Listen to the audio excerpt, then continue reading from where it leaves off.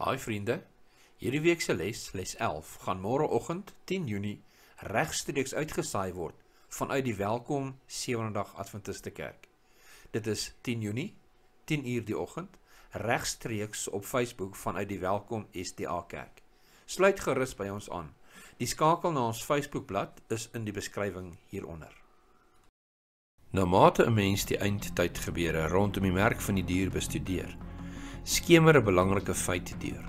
Die geweldige verskil tussen die wyse waarop God enerzijds en die vyand van die mens anderzijds te werk gaan.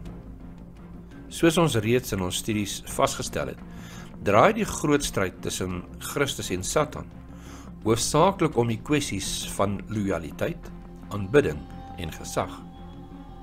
Let op die profeseë wat die mag van die dier in Openbaring 13 en die klein horingkie in Daniël 7 beskryf as ook die profetiese woorde oor die mens van die sonde in 2 Tessalonisense hoofstuk 2.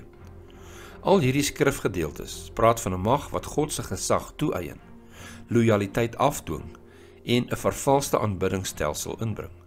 Hoe kry hulle dit reg? Hulle doen dit deur geweld en dwang en dikwels deur omkopery en aanloklike belonings. Alles in 'n poging om die mens te noop tot valse aanbidding. Die groot dryfveer in die koninkryk van God daarenteen is liefde.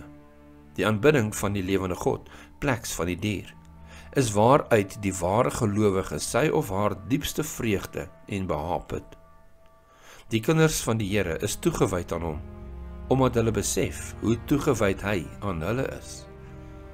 Al wat keer dat ons eendag die merk van die dier in die eindtyd ontvang, is ons liefde vir Jesus. Daardie liefde is so diepgaande dat ons greep op Christus nooit verbreek sal word nie. Hierdie week bekyk ons hierdie temas. Bestudeer hierdie week se les as voorbereiding vir Sabbat 10 Junie.